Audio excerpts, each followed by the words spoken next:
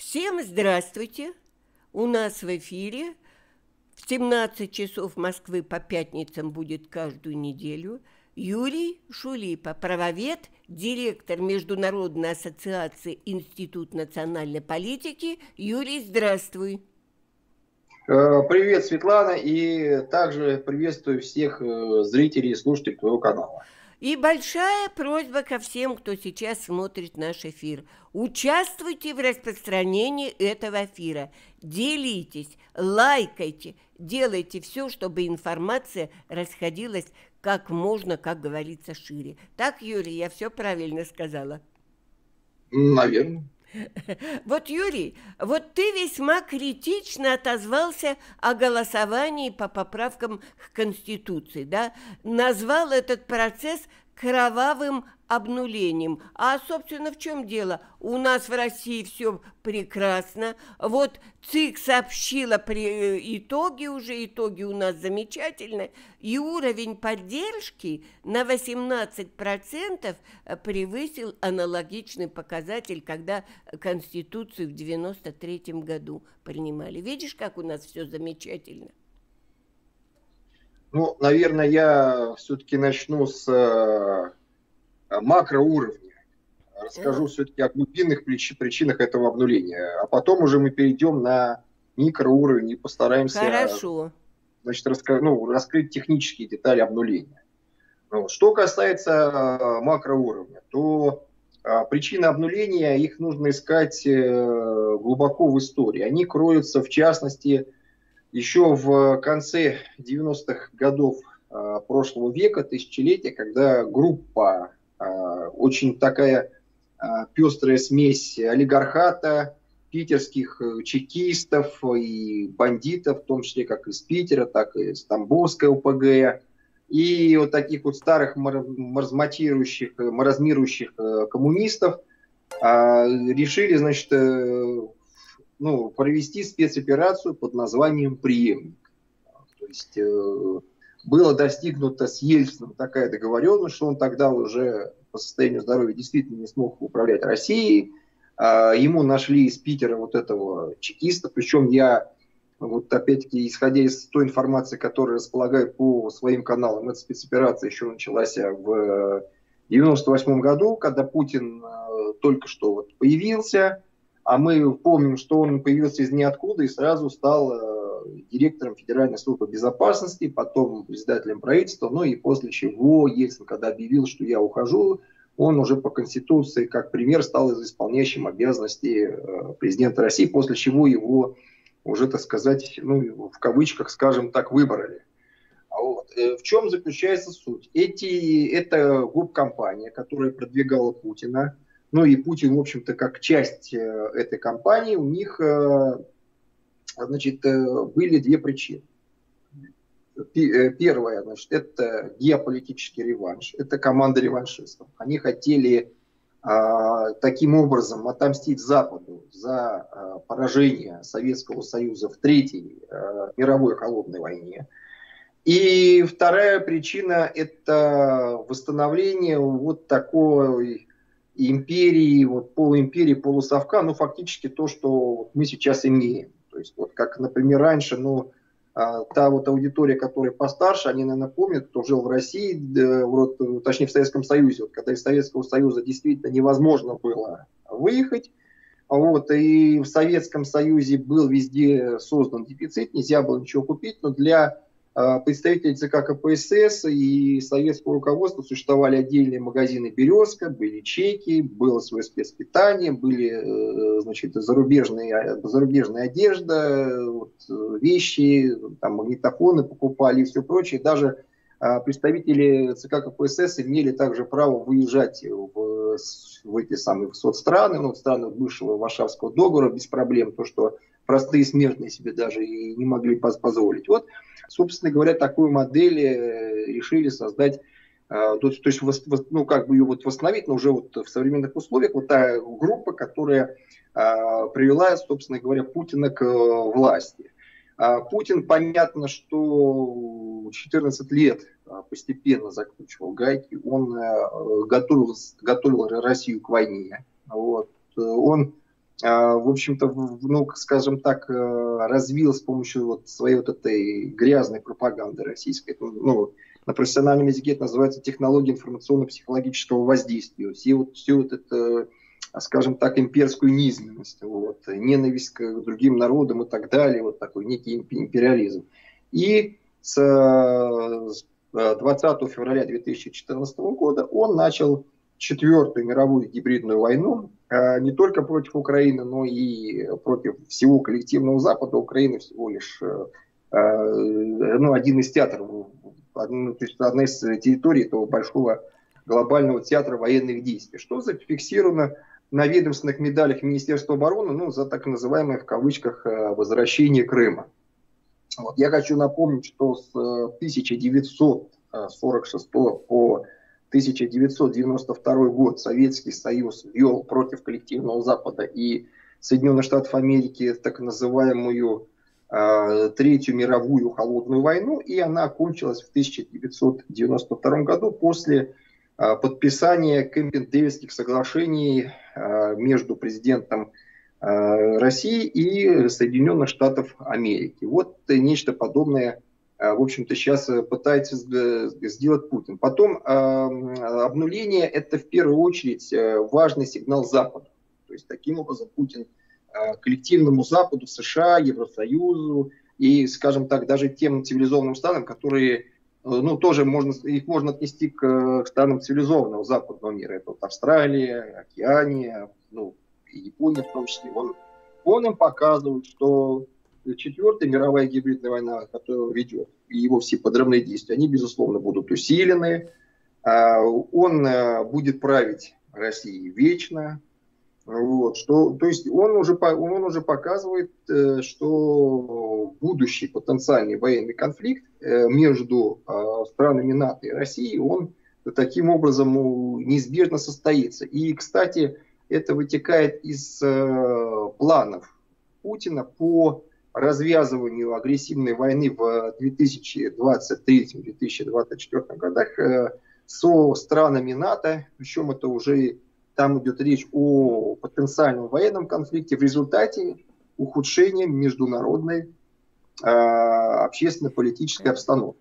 И э, таким образом э, сейчас мы переживаем очень интересное время, когда после обнуления э, усилится агентурно-подрывная деятельность России, как в Соединенных Штатах Америки, в том числе сейчас и накануне президентских выборов, также и в Европе, а в Европе еще больше – российская агентура будет работать, потому что раз ухудшение э, международной э, обстановки, то, соответственно, Путин будет работать на подрыв э, ну, европейской безопасности для того, чтобы создать какой-то вооруженный конфликт и уже потом, соответственно, в него вмешаться. Вот и, кстати, я хочу обратить внимание слушателей и зрителей, ведь почему Путин изучает внимательно историю войны. Вот, э, Юра, очень да. длинные монологи. Да, э, Зрителям да, тяжело да, слушать. Что, да, так что я, я, я понимаю, да. И э, я уже да, э, завершаю это, это свое выступление. Ну, в, в, общем, в общем, иными словами, э, нужно э,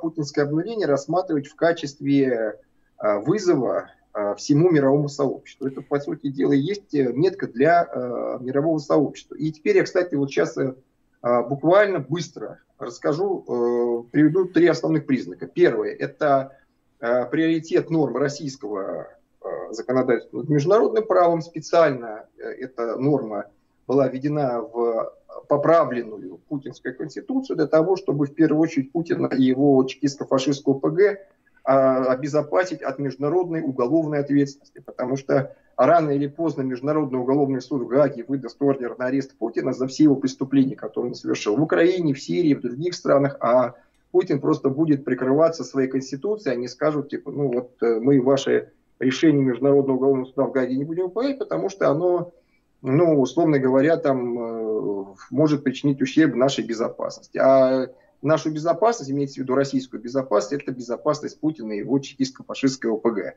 А потом а, э, второй фактор – это запрет на отчуждение территории Российской Федерации. То есть вот по примеру Автономной Республики Крым. Россия преступным путем оккупировала, потом аннексировала Крым, отжала эту территорию Украины, и теперь она своей же конституцией наложила запрет на отчуждение данных территорий. Спорный, я напомню, что Россия имеет спорные территории с Финляндией, где часть э, Восточной Финляндии оккупирована Россией, с Китаем, где э, Северный Китай, это вот сейчас в Российской Федерации считается территорией Южной Сибири, с Японией, ну и там ряд иных э, территорий. Так, все понятно, Юрий. А, значит, да. очень сильно широко в стороны расходишься. А, давай не так, давай коротко сформулируем. Путину ну, нужна так... была, Путину нужна была новая конституция под него, под его новые задачи. Он такую э, конституцию принял, вот она есть, принял он ее блестяще, будем так сказать. И вот смотри, в администрации США обеспокоены э, вот этим, так? А ответ от России поступил весьма конкретный. Это наша страна, это наши поправки, законы России превыше международным. И что будет, на твой взгляд, сейчас делать США? Ну, США в данном случае, я считаю, должны следить за той ситуацией, за активностью России на международном уровне. Потому что я повторюсь еще раз, и я хочу просто, чтобы зрители и слушатели поняли, что а путинское обнуление – это в первую очередь вызов международному сообществу, а потом уже, соответственно, это внутрироссийская повестка. То есть, я так полагаю, США просто будут э, следить, наблюдать за активностью Путина. И ну, что? Вот, вот и ну, все. не нравится им активность Путина, и что дальше? А, ну, дело в том, что, а, к сожалению, вот как э, показала практика, это нападение России на Грузию, аннексия Крыма, вот Соединенные Штаты, ну вообще США, я считаю, они э, просто абсолютно проиграли на постсоветском пространстве. Их да. политика была безумная, а, вот, но неэффективная, и все. Просто, просто ну, а у них, э, они показали полную импотентность и несостоятельность. Даже вот по тем же самым гарантиям для Украины по Будапештскому меморандуму. Соединенные Штаты Америки и Великобритания должны были Э, принять все усилия для того, чтобы заставить Россию, страну агрессора и оккупанта, освободить временно оккупированный Крым и Донбасс. Но они даже этого не делают. Они просто, кстати, вот политика США, я вот хочу обратить это внимание по сравнению вот по отношению к путинской России, она ситуационная. Я так ее называю, это чисто ситуационная политика. У них нет четкой стратегии, как действовать с Путиным, как купировать этот преступный путинский режим, убрать его с Донбасса и Крыма.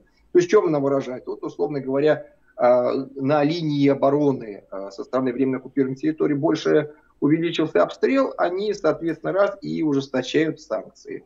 То есть, вот, потом э, вмешательство России в выборы США произошло, они ввели санкции. Еще где-то Путин в чем-то обделался, и они опять ужесточают санкции. То есть они действуют по, по факту. И это на самом деле очень плохо, потому что позволяет э, Путину маневрировать, дает ему маневр. А вот если бы они а, действовали бы целенаправленно, вот если бы действительно была бы нормальная политика, сотрудничество Украины, США, Великобритании, вот, разработка действительно э, стратегии деоккупации. Ведь только у одних Соединенных Штатов Америки, я хочу напомнить, существует достаточное количество инструментов для того, чтобы чисто не военным путем заставить уйти Путина из Крыма и Донбасса. Но они эти инструменты не используют. Вот. То есть политики, политика со стороны США, она очень беззубая, Э, безответственная, ну и это больше напоминает, на, больше напоминает игры, чем э, реальные какие-то действия. Путин, короче, выиграл в этой ситуации, Америка проиграла. И пока будет а, Дональд Трамп, э, так это и будет.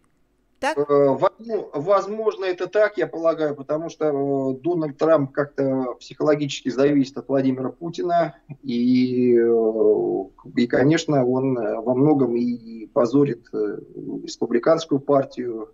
Вот. Я бы, честно говоря, на месте республиканцев, у них 24 августа будет партийный съезд, вот, не выдвигал бы кандидатуру Трампа, но у них там замечательно есть кандидаты в президент. Например, тот же самый Мит Ромни, вот, я считаю, его можно, можно выдвинуть э, в качестве кандидата в президенты Соединенных Штатов Америки. И все, и а с Трампом надо как-то им закончить, э, просто разобраться хотя бы. Там, в общем, по, рассчитывать на то, что международное сообщество как-то вмешается в российские дела, по большому счету не приходится. Вот смотри, движение в защиту прав избирателей, голос они э, посчитали недействительный, э, недействительным все 58 миллионов голосов, они там э, не соответствуют российским э, законам, и что? Мало ли что посчитал голос. Если, как, есть ли какие-то шансы э, взять и отменить вот это произошедшее голосование? Как ты считаешь? Дело в том, что с позиции э, российского права, с, пози, с позиции российского да. дело, дело в том, что с позиции российского права так. Э, обнуление Путина а, а, а что-то там делается у нас нехорошо. Все снова так.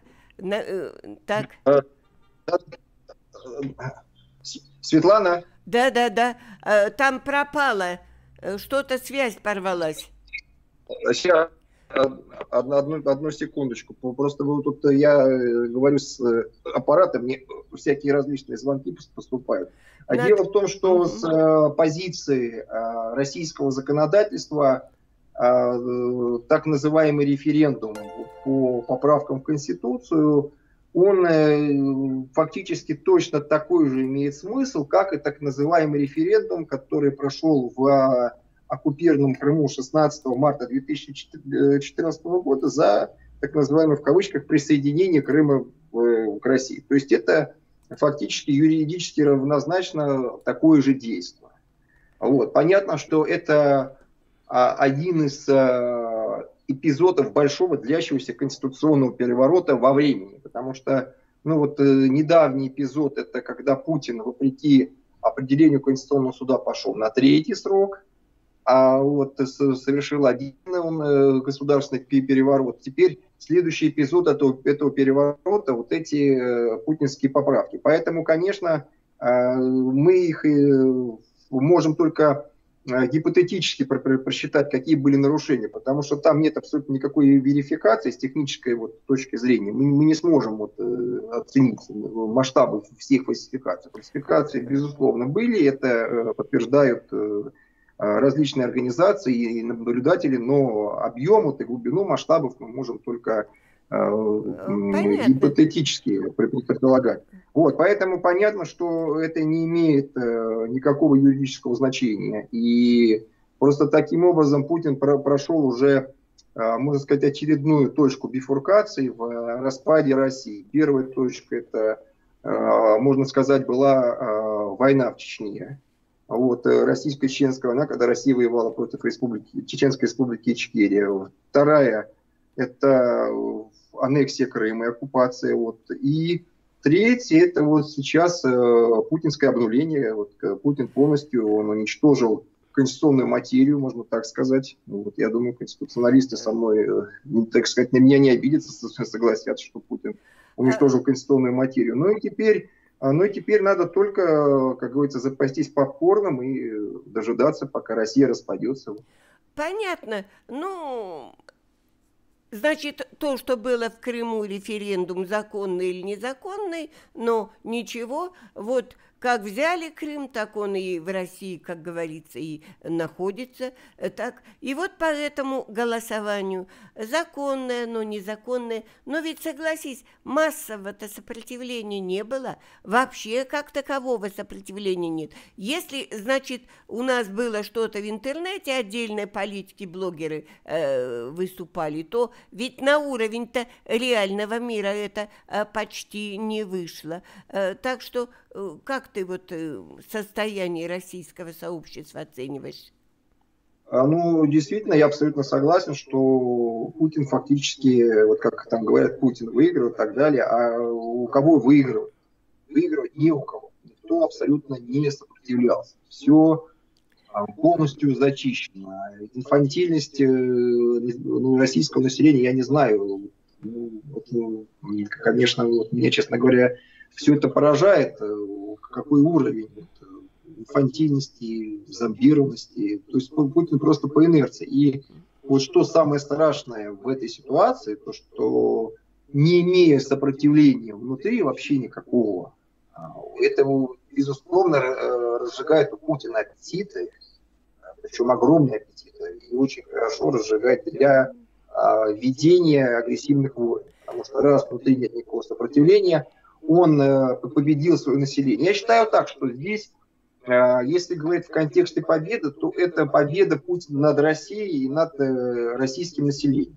Почему? Потому что а, после его обнуления все деградационные процессы, которые мы наблюдаем в России, складываются в последние годы. Это репрессии, уровень безработицы, падение производства, экономического благосостояния граждан, они только будут прогрессировать. И безусловно, что э, все эти факторы, они рано или поздно приведут к распаду России. Плюс к тому следует отметить еще важную вещь, о которой не говорят другие специалисты, что фактически 2020 а, год, он ознаменуется как э, годом окончания нефтегазовой эпохи. А нефть у России сейчас даже стали меньше покупать ввиду того, что она находится в переизбытке. Даже та же самая Саудовская Аравия, она снабжает нефти уже, уже, то есть она по объемам снабжения, ну, то есть э, обогнала Россию. Это уже тема, она затертая, замыленная, да? А, вот смотри, да, а, именно перед голосованием Путин объявил военные сборы. Вот. Это, на твой взгляд, совпадение или просто он понял, что можно, что ничего уже не будет? Нет, дело в том, что эти военные сборы, они связаны с э, планами Владимира Путина по проведению э, военной операции против Украины по захвату трех областей, Одесской, Николаевской, Херсонской, которые он планирует осуществить в этом году приблизительно 17 э, сентября. А вот, собственно говоря, с этим и связаны военные сборы. Ты считаешь, что они связаны именно с ситуацией э, на, э, с Украиной или все-таки и... с Белоруссией? Нет, э, естественно, с Украиной. И более того, это не я так считаю, а об этом э, сообщил представитель Общественного совета Министерства обороны России. Что именно как раз-таки вот эти сборы, они связаны с проведением военных, э, точнее, вот, э, вот мобилизация населения э, связана с военными учениями «Кавказ-2020». И на этих военных учениях, я хочу напомнить, это крупнейшие э, командно-штабные военные учения, на которых задействована вся отряда вооруженных сил России, это ракетно-космические, морские и сухопутные войска, и будут отрабатываться нанесение военных ударов по Украине, в частности, захват э, военного аэропорта в городе Николаеве. Поэтому эта мобилизация, еще раз повторюсь, она связана с планом Владимира Путина по нападению на свободной территории Украины. И вот э, попыт, попыток, то есть ну, мы же еще не знаем, нападет ли Путин или нет до конца, захватит ли, удастся ли захватить эти области или нет, а если не удастся, то какую территорию Путин может э, иметь в виду свободную территорию Украины захватить. Поэтому это просто сейчас э, мобилизация, она то есть, еще раз связана с э, планами Путина по нападению на Украину. А именно на Украину Беларусь ты не рассматриваешь в качестве а, объекта? Э, в Белоруссии э, ситуация заключается в следующем образом. А, Все-таки президент Лукашенко, это вот э, его поездка в Ржев, а, когда он, он, он встречался с Путиным, он, вероятно, все-таки договорился, и я так полагаю, даже не то, что договорился, но он, как обычно, показал просто Путину свою лояльность, что он готов на дальнейшие какие-то интеграционные процессы по поглощению Республики Беларусь в российское пространство, вот это в так называемое а, будущее совковое государство, которое планирует э, создать Путин. А ему, ну, вот я считаю, что это просто маневр перед Путиным. Здесь э, на самом деле немножко все сложнее. Вот. То есть тут Лукашенко пытается нивелировать перед Путиным по крайней мере в том плане, что в Беларуси с высокой долей вероятности, э, как э, в ходе выборов, так и, возможно, после выборов прогнозируются различные массовые беспорядки, и таким образом Лукашенко просто обращается к Путину, чтобы, по крайней мере, в этих беспорядках Путин не оказывал какое-то влияние во внутренние дела в Республике Беларусь, так как Лукашенко действительно очень сильно боится подрыва, и у него на самом деле очень маленький рейтинг, так как ну, реальный рейтинг Лукашенко, я считаю, ну, где-то, наверное, около 3%, э, не больше. А ему нужно, он тоже, как Путин, э, планирует пожизненно править Республикой Беларусь. И вот он существует от выборов до выборов. То есть для него а, вот эти выборы э, в 2020 году, это, ну, для Лукашенко, это наиболее а, тяжелые выборы. То есть это не декабрь 2010 года, когда там а, ну, была небольшая оппозиция, пришла, их там быстро разогнали, уголовные дела сфальсифицировали, и потом полностью привелось в зачистку. Потому что здесь мы, мы видим, что даже и силовики в Республике Беларусь, они уже не проявляют к Лукашенко лояльности, он, там какие-то ОМОНовцы отказались э, разгонять, их уже, там даже сейчас в Беларуси силовиков уже проверяют на, на лояльность. То есть это говорит о том, что у режима Лукашенко действительно трещит по швам. Вот. Поэтому будем в Республике Беларусь смотреть за ситуацией. И а, хотя, э, смотрите, здесь еще в чем сложность заключается? В том, что Республика Беларусь с Российской Федерацией находится в общем военном, таможенном и, э, соответственно, пограничном пространстве. А, вот. И, ну, как вот Путин может ввести войска, условно говоря, в Республику Беларусь без согласования, если фактически, ну, российские войска и белорусские, это вот по, ряду, по, по договору АДКБ, договору коллективной безопасности, ну, это фактически является одним и тем же войском.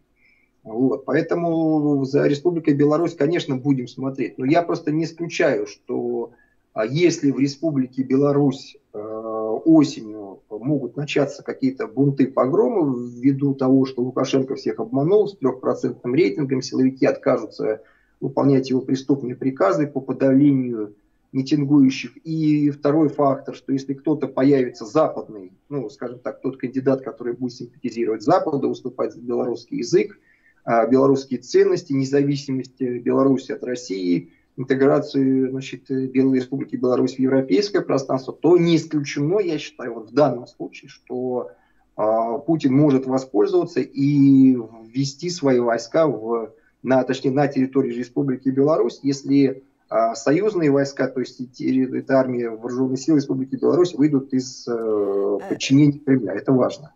Юра, ты считаешь, что э, победа Лукашенко на выборах это не стопроцентный вариант, что могут Эй. получиться какие-то другие нюансы? Нет, Лукашенко произойдет первого, первого победа, это э, такая же будет э, вот, ну, там такой же будет абсолютно уровень фальсификации, как и на всех путинских выборах, может быть, больше или меньше, сейчас пока трудно предсказать. Но а, в любом случае мы это видим, что Александр Лукашенко, он, он уйдет от власти не в результате выборов. Э, ну вот э, посмотри, да, э, у нас в России сейчас фальсификации зашкаливали, протеста никакого, ни до выборов, ни, вернее, ни до голосования, ни после голосования, тишина. В Беларуси и сейчас не так, и после выборов тоже будет не так, ты считаешь? А, в Беларуси нет, а, по-другому. В Беларуси, ну, во-первых, Республика Беларусь, она меньше, понятно России. В Республике Беларусь уже идут протесты. Мы видим а, тысячи людей, которые выстраиваются в очередь. Такого, кстати, раньше в Республике Беларусь не было. Тысячи людей, вот буквально недавно показывали, выстраивались в очередь для того, чтобы э, подать свою подпись в поддержку независимого от власти кандидата в президенты. Это важно. То есть э, белорусское общество, оно к протестам, э, ну, основная его масса, не все, конечно, белорусское общество, но активная масса точно уже вырисовывается тех людей, которые значит, э, ну, давали подпись за независимых кандидатов, потому что а, именно эти люди... Так, у эти тебя люди... снова э, что-то там отключить надо было, да. несколько раз был срыв. Э, так. Да, потому что э, Светлана, сейчас как связь нормально Сейчас нормально, да. Да, потому что именно э, вот эти люди, которые отдали свои подписи за независимых э, кандидатов, за выдвижение независимых кандидатов, в президенты, они э, будут потом защищать свой голос на митинг.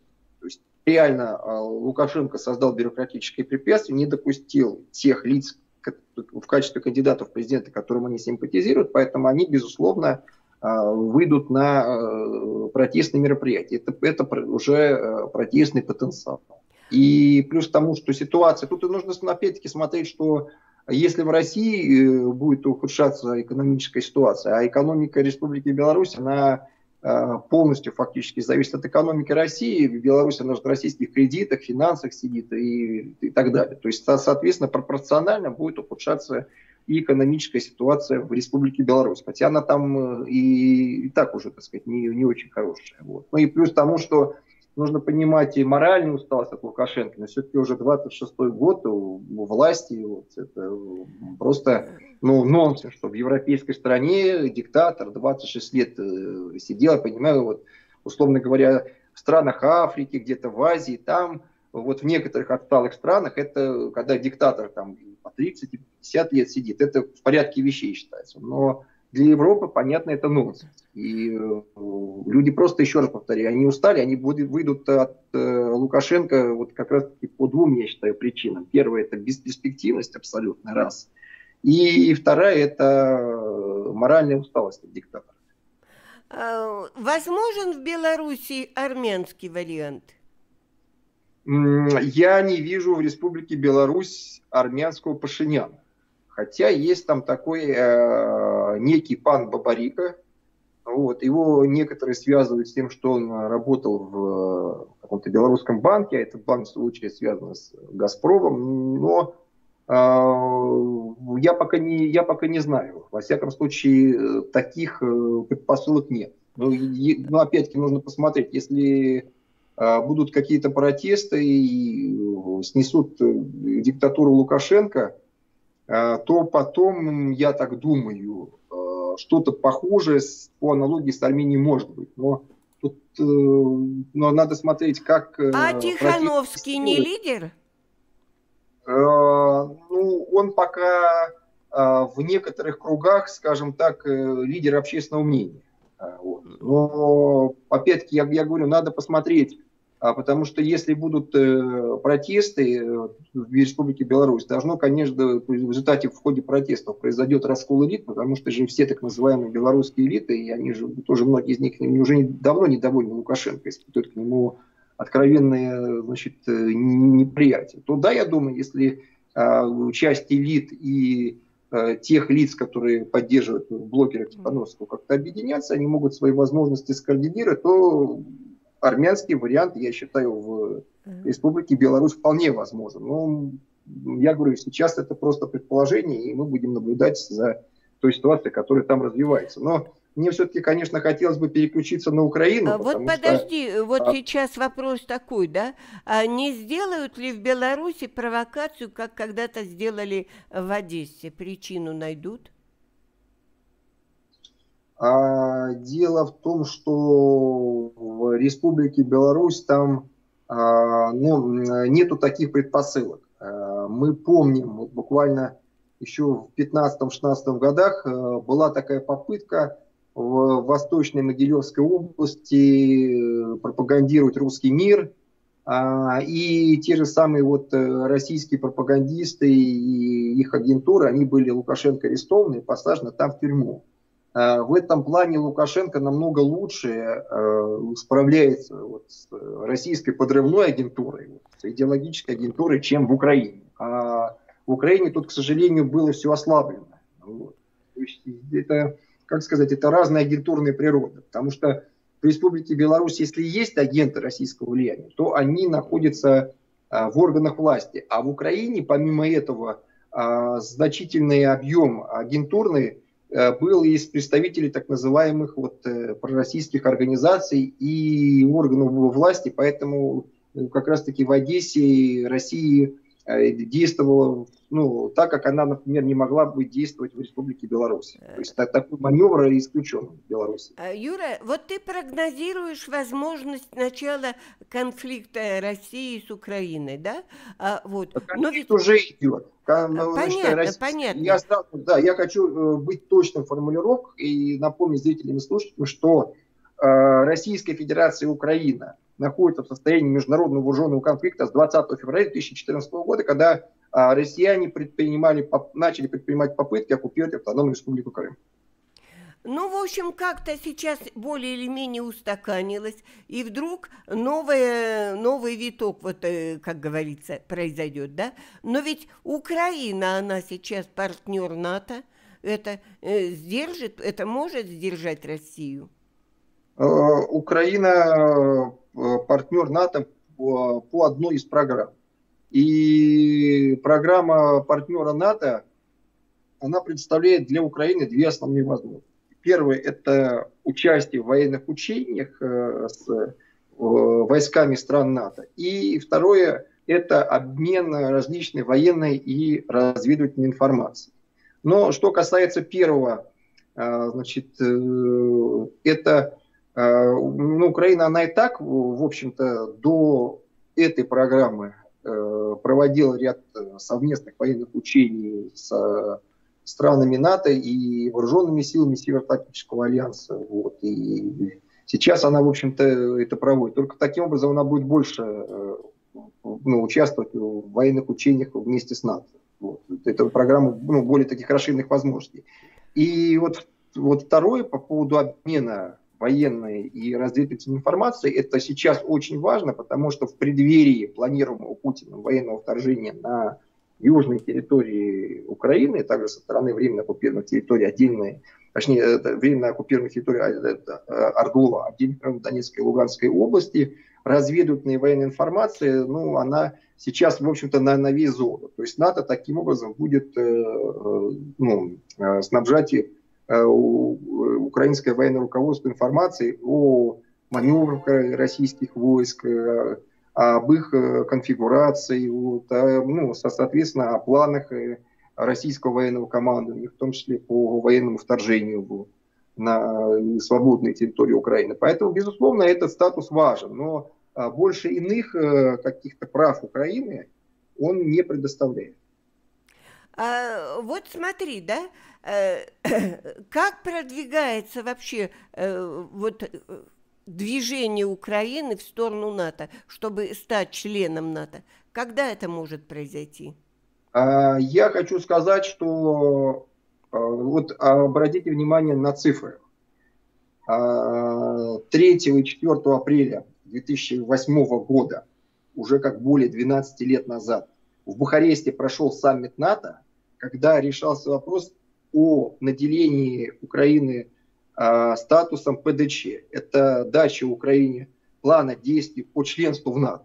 Это очень важная вещь. И вот тогда как раз-таки Путин разговаривал с президентом США и говорил, что Украина это не до государства, и э, Россия значит, предпримет все усилия, чтобы Украина не вступила в НАТО. Вот. После этого а, почему-то э, все переговоры о даче Украины плана действий по членству НАТО, можно сказать, при, приостановлены.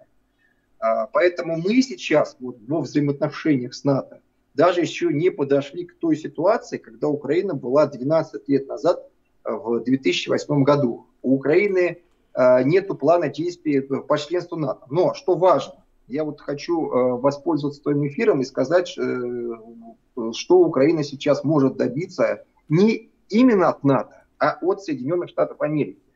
А, поскольку в США, в США сейчас идут выборы, а Путин намеревается осуществить вероломное военное вторжение, на этом фоне президент Владимир Зеленский должен сразу сходу э, обратиться к президенту Трампу как к одному из э, кандидатов на пост президента США и действующему президенту, чтобы президент Трамп предоставил Украине статус особого военного союзника США вне НАТО.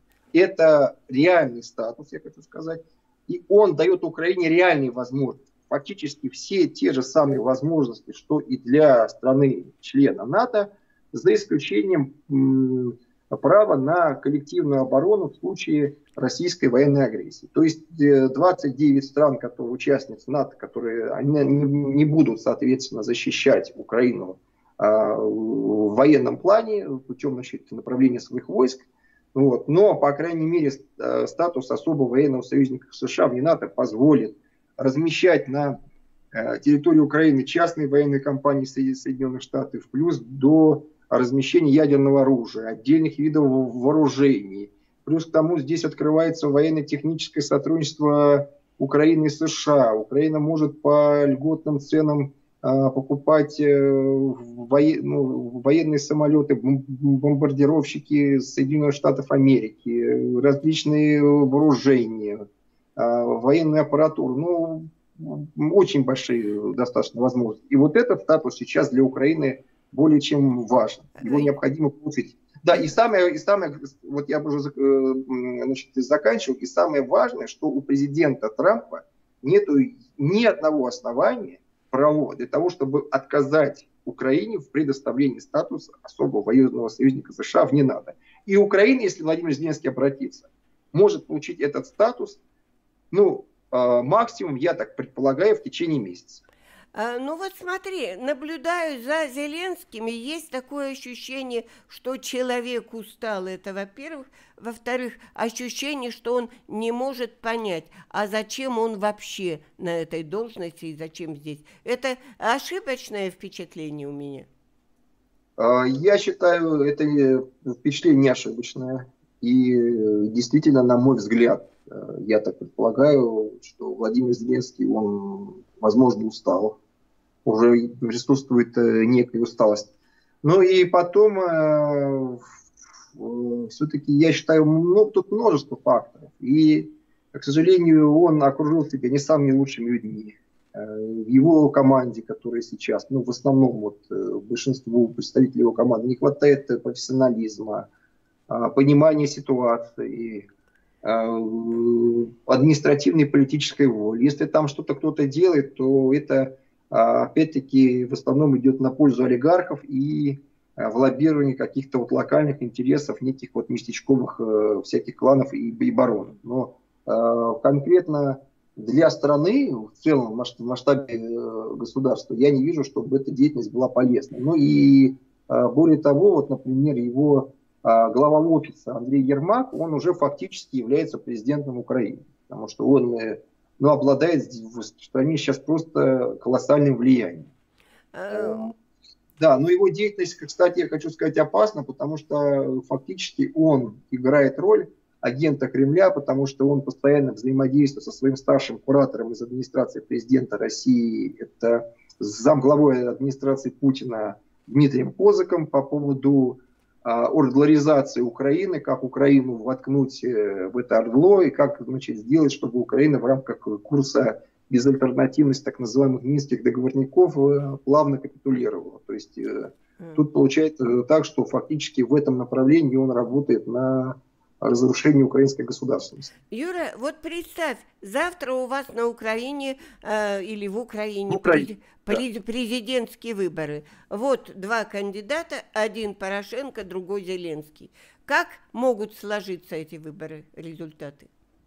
Ну, я считаю, что если говорить о Порошенко-Зеленском, то сейчас уже не будет того разрыва, который был э, в первом и втором туре. Ну, даже вот во втором туре между Порошенко и Зеленским. Он сейчас, э, он сейчас э, достаточно сглазится, потому что Зеленский очень сильно потерял в своем рейтинге. Но Помнишь, Порошенко это... не победит.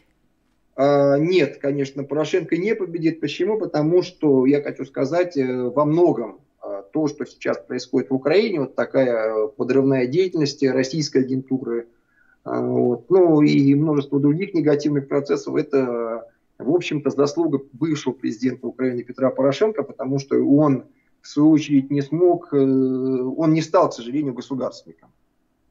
Поэтому я э. считаю, что здесь и, и Зеленский не, не победит. Иначе нет, Зеленский, конечно, победит, но Порошенко точно не, не победит. Но, во всяком случае, уже победа Зеленского не будет с таким большим отрывом, как она была год назад. И вот тот лидер, который у вас сейчас нарисовался, он тоже работает не на пользу Украине. Так получается. Какой, какой лидер? Э, который сейчас фактически является у вас президентом, поскольку э, Зеленский как бы самоустранился. Ой, не, ну это человек вообще, который, он пришел из бизнеса, и ему по большому счету плевать и патриотизм, а, и Украина, на все остальное. Да, я, я, я так полагаю, что если и произойдет э, какая-то здесь заваруха в результате агентурной подрывной деятельности Путина, то он просто ну, максимум что получит звание Героя России и отправится куда-нибудь на Мальдивы или на острова пожизненно отдыхать. А, Юр, вот в прошлом эфире Давид а, Гижларян спрашивал, да? Ну вот у нас Россия стоит перед возможностью распада, Украина тоже стоит перед э, реалиями распада.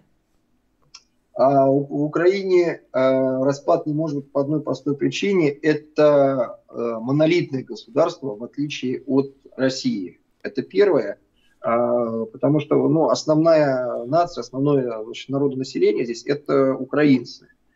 Э, вот. И то, что со стороны России это кажется распадом, то а, это всего лишь может быть временная оккупация отдельных территорий Украины с их целью дальнейшей деукраинизации. Вот как, например, оккупировали Крым и Донбасс, сейчас провели, значит, сейчас там проходит деукраинизация, и все это, ну, российская пропаганда э, показывает людям как э, распад Украины. Но на самом деле это не так. И более того, я хочу вот отметить еще такой фактор, это важно, что в Украине э, существует, точнее, здесь э, проживает множество иных э, народов. Ну, например, вот э, Закарпатская область, э, Закарпатье, это регион, где э, помимо этнических украинцев проживают этнические венгры, словаки, чехи, русины, немцы даже, там лемки есть, ну и иные народы. И они там все сосуществуют ну, настолько дружно, что такого вот дружного существования нет на вот, э, в северокавказских республиках, э, ну, вот, российской, которые сейчас находятся на, ну, в составе Российской Федерации. Вот, то есть э, там никогда не было никакой вот этнической вражды, там, чтобы вот на фоне, значит, это... То есть распад на Украине невозможен, а в России... Нет, нет абсолютно, абсолютно он э, невозможен. Единственное, возможно, просто подрывная деятельность. Э, я еще раз хочу подчеркнуть, это важно. Единственное, пока существует Россия, пока существует Россия, возможно лишь подрывная деятельность со стороны Путина – после чего э, будет происходить оккупация отдельных территорий Украины. Это возможно, и потом, соответственно, пропаганда это будет выдаваться как э, распад России, не стоящее государство. В России ситуация абсолютно иная. Россия исторически это колония. Это колония, даже то же самое, как вот российские историки пишут, присоединение земель русских, это было рейдерство, это колония, где народы уже вот более 300 лет закабалены.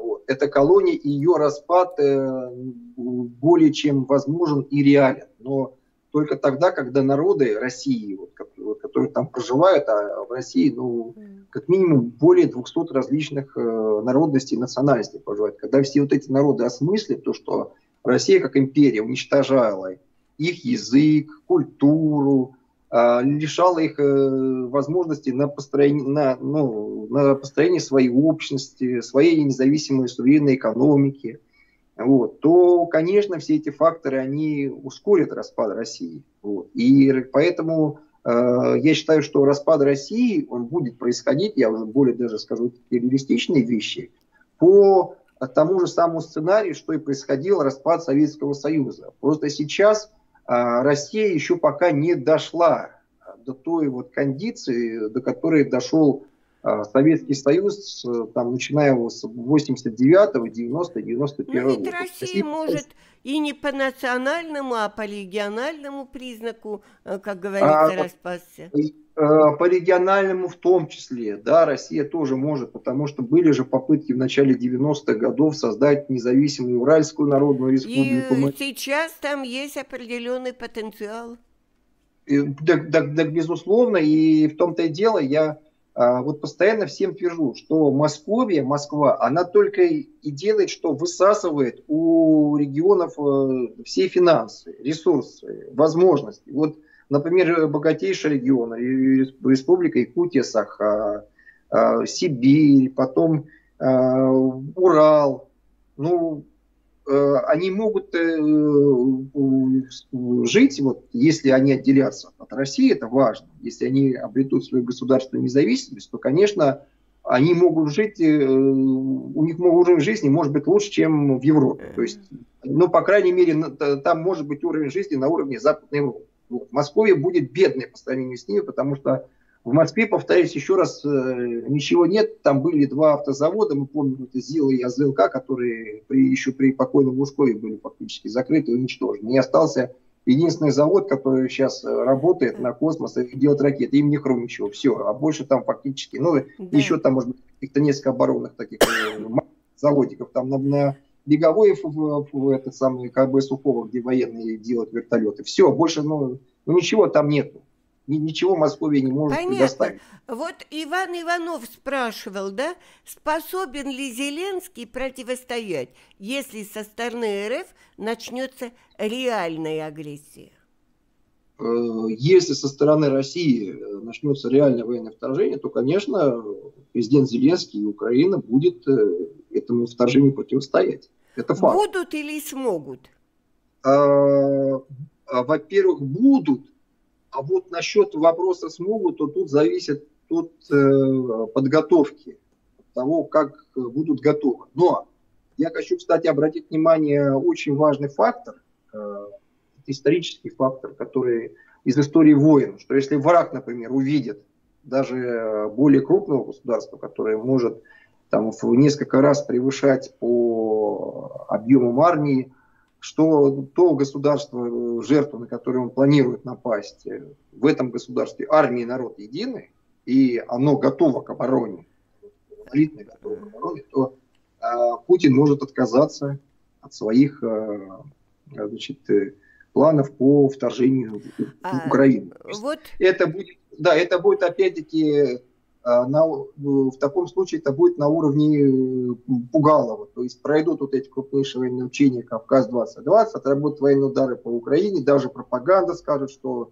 А, кстати, иногда вот российская пропаганда, она и говорит, и вот там же тоже сам телеканал «Звезда», Министерство обороны, если посмотреть, они могут и даже откровенно сказать, что ну вот там э, вот Украина типа нам угрожает, но они легенду будут выдумывать, правильно, легендируют нападение. И мы вот там вот в том числе и в связи с действиями по, по Украине проводим вот эти там, ну, объем определенных э, военных учений. Все. И это максимум.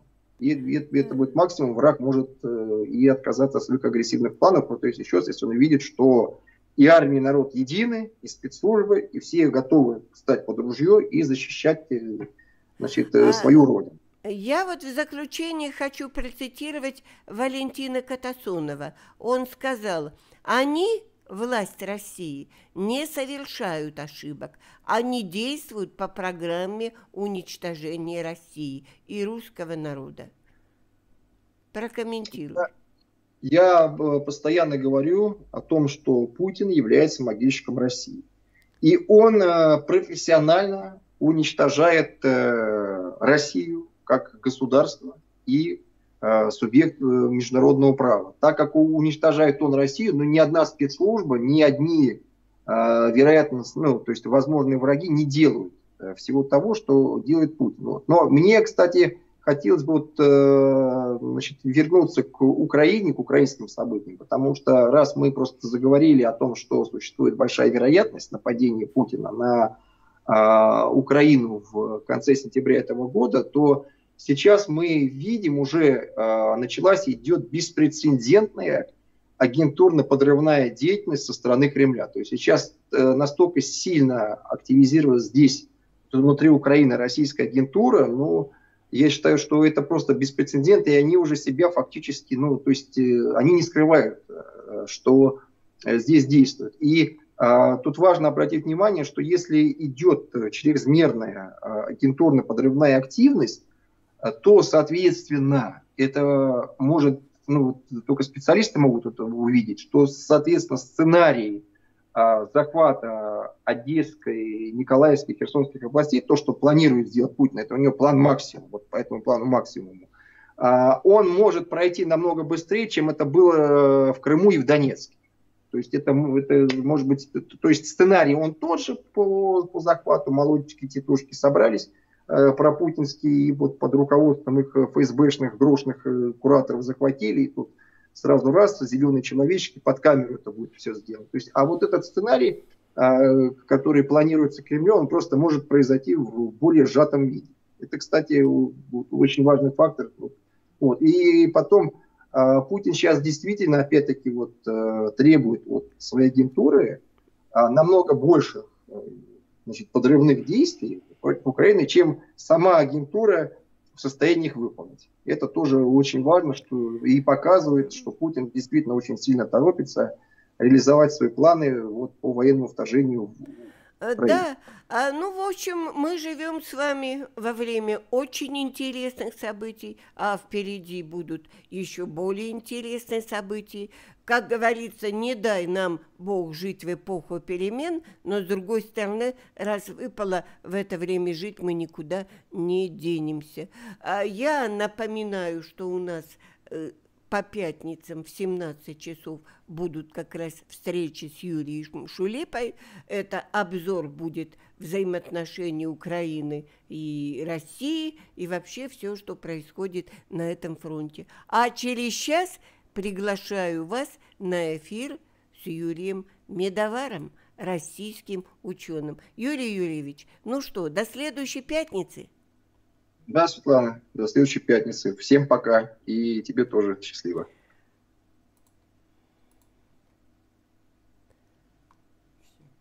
Так, все.